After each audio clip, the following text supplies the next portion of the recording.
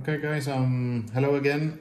I'm gonna show you the unboxing of our first competition watch, this Rolex GMT Master 2 16710 with a Coke bezel. Here we have the box with the marked model number. These are the service papers. This would be the hand tag they give now with the with the service and the translations from Spanish from the warranty service. And we have the warranty service card or the Rolex service card with the serial number of the watch, which I've covered, model number done on the 16th of July 21, and I covered the distributor just for privacy purposes. Then we have the Rolex service booklet. It explains how they do the service and everything in Rolex nowadays. Then we have the four extra Jubilee links. This watch comes with full links. Rolex hand tag.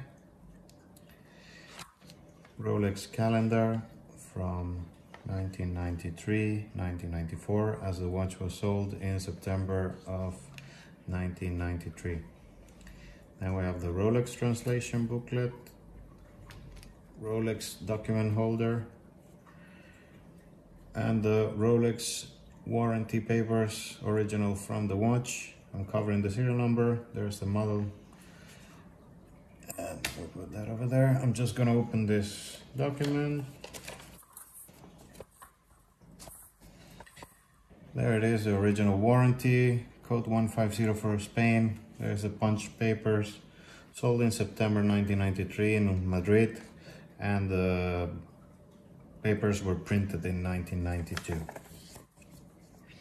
Then we have the Rolex GMT Master booklet.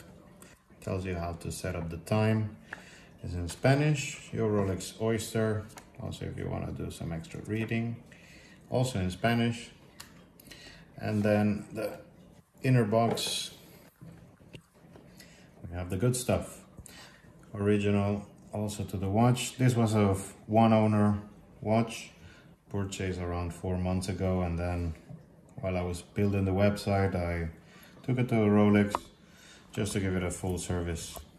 I'm just gonna remove this from here so you can see the watch. Let's talk about it a little bit. Uh, watch just brand new from the service with a two-year warranty from Rolex. X-ray serial from 1991. Case is in really, really sharp, excellent condition. I would say 9 out of 10 or 9, 9.5 out of 10. Dial with uh, no damage at all, tritium plots, original to the watch. Um, they react to UV light, but they don't glow anymore in the dark. Same happens with the original tritium hands. They do react to UV light. They don't glow anymore in the dark. The insert is a Fat Font serif insert. You can see more photos in detail on the website and also at the end of this video. A Jubilee bracelet, which practically zero elongation is really, really like brand new. Same as the case back. Everything is original to the watch. Clasp also, no scratches. Romeo 5 clasp code from uh, May 1993, which is correct for this watch that was produced in 1991. Nothing much more to say. I, I would say the photos talk better than my words. Uh, if you have any questions, just hit me up and I can show you more photos or whatever you need on the watch. Have a good day and thank you very much for watching.